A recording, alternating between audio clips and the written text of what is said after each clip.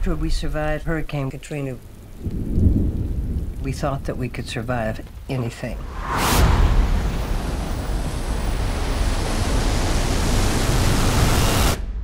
And we were wrong. They found 45 dead bodies there. Now, does that make any sense to you? I'm under a great deal of pressure to look into what happened. There were five days, the most ungodly conditions. We are getting all of these patients out of here. We are nurses, and we're going to get it done. As long as we don't get left behind. We have to be realistic about the situation.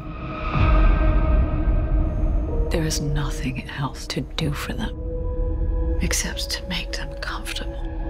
So what are we talking about? They asked me to look into the, the deaths at Memorial Medical Center. Anna, uh, the Attorney General's office is focusing their investigation on you. They're suggesting that some of their patients' lives may have been ended. I am sure that patients do not suffer pain.